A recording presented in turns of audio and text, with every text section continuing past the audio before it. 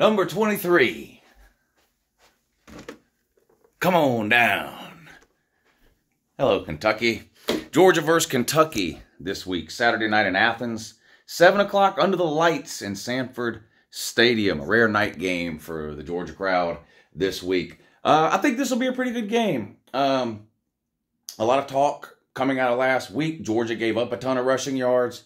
Kentucky ran for a million yards uh, on Florida. Georgia, of course, played uh, Auburn. Kentucky and Georgia have been playing every year for a long, long time. Uh, it's been a while since the Kentucky's won this one. 2009 was the last time Kentucky beat Georgia. Um, that game was in Athens, though, if it's any consolation. Um, Stoops is what, 0 and 10? What is this, his 11th year? He's 0 for however many years he's been at Kentucky.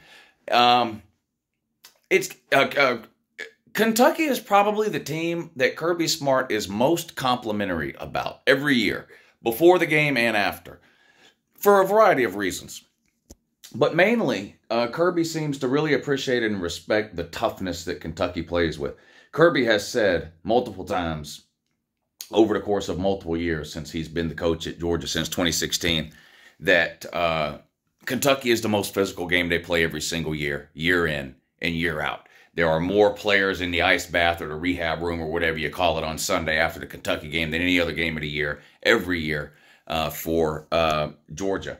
And uh, I don't think it's that hard to see why. I mean, Kentucky is a physical team. They've always got big lines of scrimmage on both sides of the ball. Um, they, they will hit you.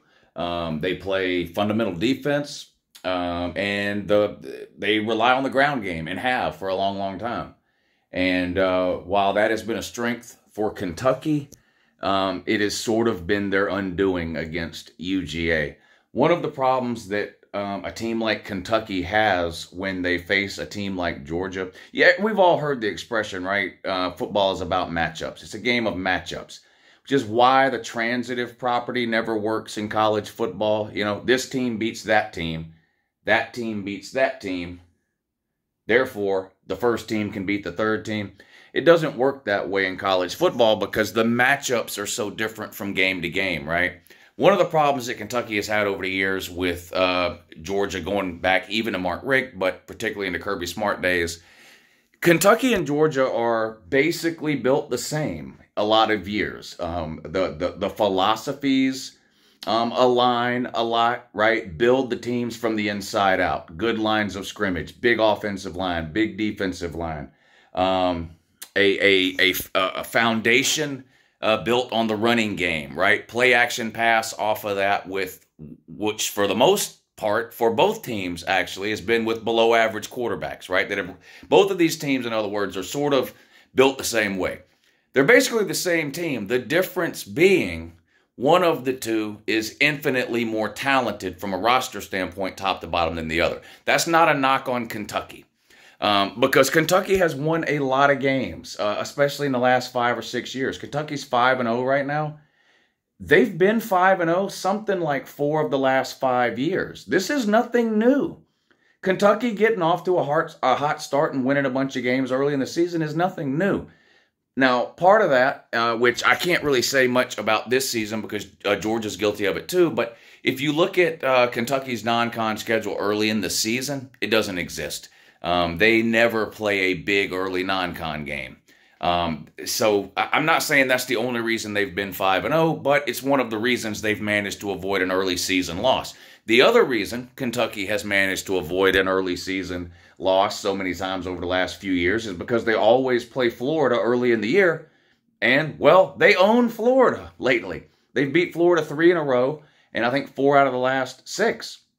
So that has led to Kentucky getting off to some hot starts most years um, in the last four, five, six years. Like I said, I think it's I think it's four of the last five they started they have started um, five and zero. Now they have gone on um, to lose several games each of those years. Right, they've lost to Georgia in each of those years. And I think the primary reason specifically that they have a hard time with Georgia is because it's two similar teams um, that are built similarly, that operate under similar philosophies. One of these teams is just way more talented than the other, top to bottom. Now, that doesn't mean that Kentucky doesn't have a player somewhere that's better than the equivalent player on Georgia, and Ray Davis is a great example of this. Georgia doesn't have a running back as good as Ray Davis. They don't. Um, that's just a fact. It's a reality. We can look at recruiting rankings or anything else we want. We, have all seen Georgia and Kentucky each play five games. Georgia doesn't have a running back uh, near as good as Ray Davis. That's just a fact. So it doesn't mean that Kentucky uh, can't have better players here or there. I think another thing that has kind of hindered Kentucky um, over the years has been their their real lack of a of a of a passing game, a, a, a considerable downfield passing game. There hasn't been very many years where Kentucky has had a serious threat at the wide receiver position and a quarterback who can get them the ball. Now they've tried a couple of different things, right? Recruiting, obviously. Lately, they've been relying on the transfer portal to try to bring in experienced uh, veteran QBs who have played other places. Unfortunately for Kentucky, it really hasn't worked out all that well. They brought Will Levis in down from Penn State. And while he's got all the physical tools on paper, probably looks great in a combine, throwing the ball around, looks good um, in a uniform, probably a big guy, sort of your prototypical pocket passer, never really translated to on field results at Kentucky. Now, yeah, Kentucky has some good seasons with him there, and he had some good games but he never really became sort of the breakout player I think that Kentucky hoped he would be, sort of the kind of player that when the run game is stifled or not working out, um, you know, can put the team on his shoulders as a quarterback and kind of throw them to a victory in the second half. It never really developed into that. He's gone off to the NFL, so they they have tried again bringing in Devin Leary at the quarterback position. And um, I was actually high on this one. I, I liked what Devin Leary did at NC State. Now he was hampered by injuries last year. But if you go back prior to that, he was a pretty good quarterback at NC State. And I remember talking about this in the offseason and saying, you know, I don't I don't know about pro prospects or or NFL comparisons, you know, but I think Devin Leary is a better college quarterback than Will Levis. Um, it's hard, almost impossible, to compare the success a quarterback has in college and then relate that to the NFL. It's just very rarely does it does it line. It's very rare that you get somebody that's really really good in college at the quarterback position and really, really good in the NFL. It seems to be like if you just think about some of the best quarterbacks in the NFL, they're not quarterbacks that we talked a lot about in college. Uh, anyway, I don't want to get into that. So, point is, I don't think Will Levis was very good in college, but potentially he could be a good NFL player.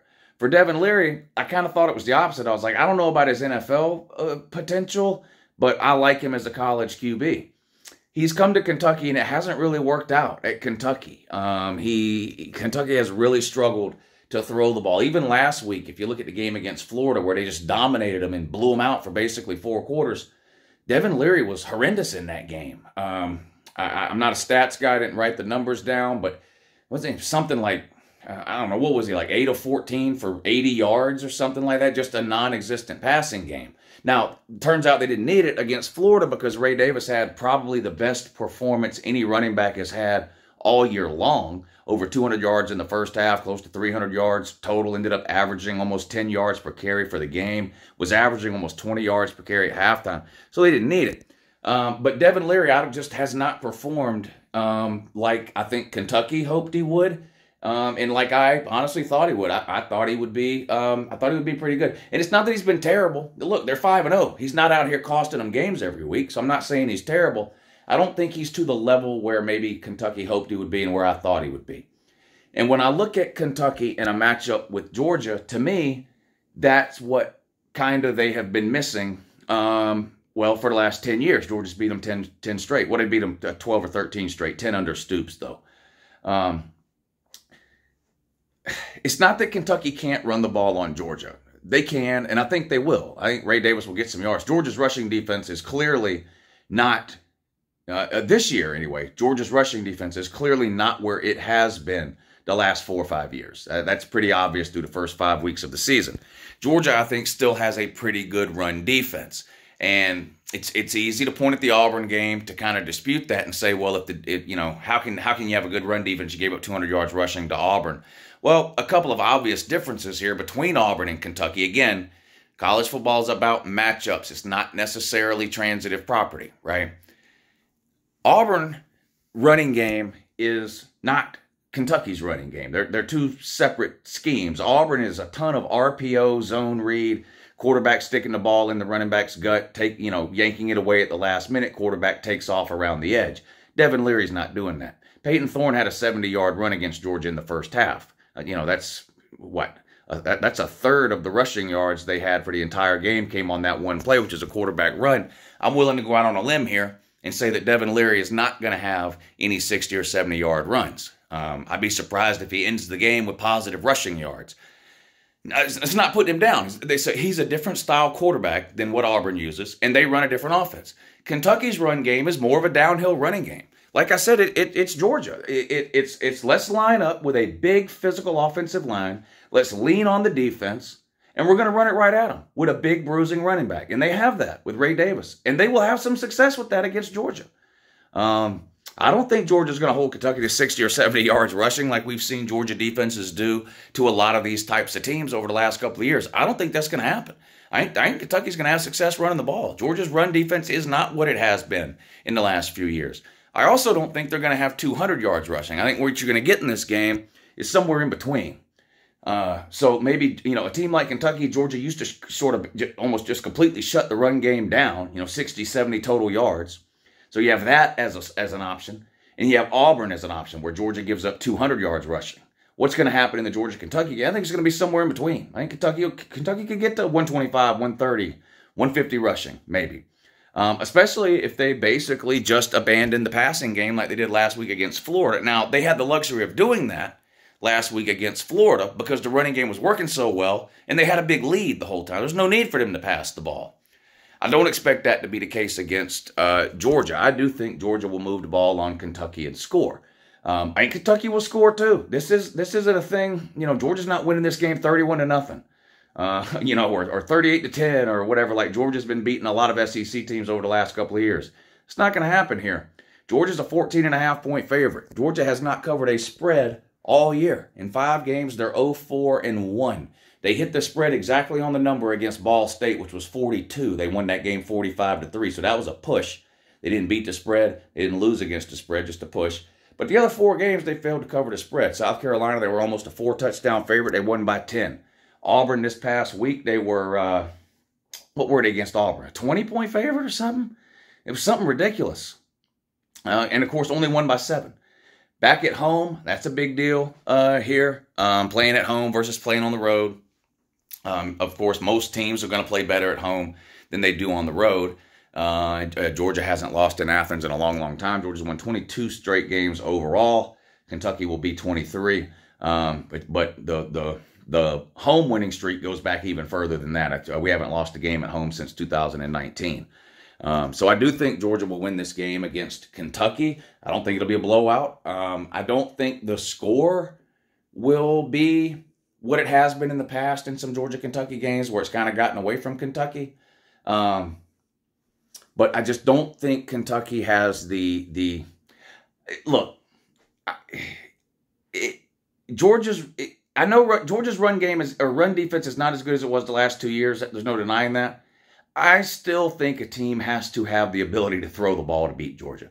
I still think Georgia's defense. It's easy to say Georgia's defense is no good. Georgia's defense is good. Maybe it's not elite. Maybe it's not top five in the country like it has been each of the last couple of years. But Georgia's got a top 15 ish, top 20 ish defense. You can point out some stat you want that shows Georgia's 30th in this. I can find one that tells you they're ninth. I'm not talking about stats. I'm just talking about watch them play. They're one of the best 10 or 15 defenses in the country. That's just a fact. Um, so yeah, I just the, the matchup for Kentucky. I just I don't see it happening. I, I just I, I, still feel like a team's going to have to have the ability to throw the ball. You just you, I don't think you're going to be able to be as one dimensional as Kentucky was last week and beat a team like Georgia, or as one dimensional as Auburn was last week and beat a team like Georgia. I still feel like it's going to take a team um, that can spread Georgia out and throw the ball. And um, I'm just not convinced Kentucky's going to be able to do that. So this is not a trash talking video.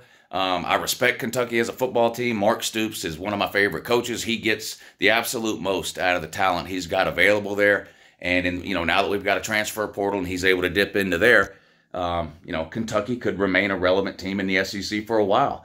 I think Kentucky right now is probably the second. If you were to make like an SEC East pecking order, now this is the last year of divisions in the SEC. But if you look over the last, if you rank the last, let's say five years, if you were going to rank the last five years of the SEC East, Kentucky would be the second team on that list. Um, they haven't always finished second in the East, but they've been the most consistent, but other than Georgia, Kentucky's been the most consistently good team in the SEC East.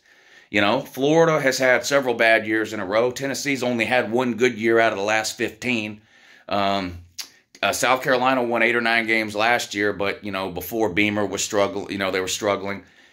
Kentucky's probably second in the pecking order right now in the SEC East. Again, that doesn't mean they're going to finish second every single year. Hell, they want to come in and beat Georgia and win the division. And I'm not telling you that's impossible. I'm, I'm not telling you they can't do that. I am picking against them. I'm, I'm going to take Georgia to win this game, but Kentucky's a legitimately good team. How good? Well, we'll find out more about that this Saturday when they come down to um, Athens at 7. Um, but I think this is going to be a good game. It's a night game. I think a lot of people will be watching this one. And let's be real, there are a lot of people lined up just waiting on Georgia to lose. And, um, you know, it's funny, heading into the season, um, Georgia wasn't going to lose to anybody. They're going to win every game by 100. This is the easiest schedule in the history of, of mankind that anyone's ever seen.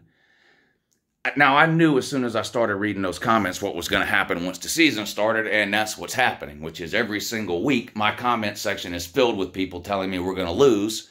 Then when Georgia wins, they tell me how bad the other team is. And, and, and, it's just a rinse and repeat cycle. It's been going on here for three or four years on this channel. It's the same comments week in and week out, just a different, uh, just a different uh, year. You know, we, I mean, you got to remember, Georgia beat Oregon last year in week one, 49 to 3 for two months, everyone told me Oregon was no good, and that win didn't mean anything. I mean, so it doesn't matter who Georgia plays and who they beat. The comments on this channel are going to be the same. You know, Monday through Friday, Georgia is losing. On Saturday, Georgia wins. And on Sunday, everyone shows up to tell me the team that we beat is no good, and they can't believe I'm bragging about beating a bad team. After they spent the whole previous week telling me we're losing. They did it with Auburn. They're doing it again with Kentucky. They're going to do it with Florida. They're going to do it with Ole Miss. They're going to do it with Tennessee. It's the same thing every time. But I, I just don't think Kentucky's where they need to be, particularly um, with the passing game in order to come into Athens, which is a big deal. This game was in Kentucky. Boy, I'd be a lot more nervous. I'll be honest with you. I'd be a lot more nervous. Um, you know, I, I know Georgia State number one, I think, in the AP and the coaches poll. I moved them down to eight. Um, I moved Georgia to eight. They, they clearly do not look like the best team in the country through the first month of the season. Now, there's a, plenty of argument to be had about who is. There is no clear-cut number one, I don't think. is part of the problem. I've got Michigan one, Florida State two, Texas, Penn State, and Ohio State rounding out the top five. Uh, and then I've got Washington, Oregon, Georgia, Southern Cal, and, um, and um, Oklahoma. And, and I think it's kind of a problem. But look, I mean, Georgia just hasn't been dominant. But we'll see what they do this weekend. They got to stop turning the ball over. Georgia does. They need to play better run defense. Um, I think the offensive line needs to play better, particularly in the run blocking. And the running back situation at Georgia, I mean, it, it's nice to think that that could improve over the course of the year. But the reality is, for Georgia, the, um, the running backs just aren't nearly as talented as what Georgia's used to having. It's just a fact. So I don't know. I think I think Georgia needs to become more of a kind of a, you know how uh, a lot of teams will run to set up the pass. Georgia's been doing this forever. You know, run on first down, play action pass on second down. I'm starting to think it might need to be the opposite at Georgia. We might need to be throwing it on first down to set up the run. Uh, we're having a hard time running the ball. Part of it's offensive line, part of it's running back. But um, anyway, now thank God Carson Beck's having a good year. Ninth in the country in passing yards. Carson Beck is with almost an 80% completion rate. So, so far so good for Carson Beck, and I think that will continue this Saturday. Um, I think Georgia gets the win. Favored by 14 and a half. I wouldn't bet $1 on Georgia to cover a spread until they actually do it. Um, now, I don't bet against Georgia ever. Um, so I just, you know, I wouldn't bet on the game. Uh, but you do what you want. It's your money. They're favored by 14 and a half. I do, Georgia's going to cover a spread at some point. Look, if Georgia ever comes out and plays in the first quarter, which is something they haven't done all year, um, Georgia doesn't even start trying, it seems like, to the second quarter. But if they ever come out and actually play in the first quarter, don't turn the ball over, and don't miss field goals, eventually Georgia's going to cover a spread. Maybe it'll be this week against Kentucky. You know, maybe they win something like, uh, you know, I don't know, 31 to 14, uh, or something like that. I don't know. Uh, maybe so. Maybe they end up covering this 14 and a half, but I wouldn't bet a dollar on it until I see them do it. Anyway, that's it. Georgia versus Kentucky. Have a good morning.